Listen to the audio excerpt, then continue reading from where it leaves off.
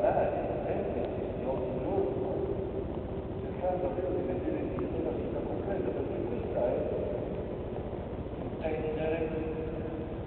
volere, il desiderio della parola di Dio che studiamo.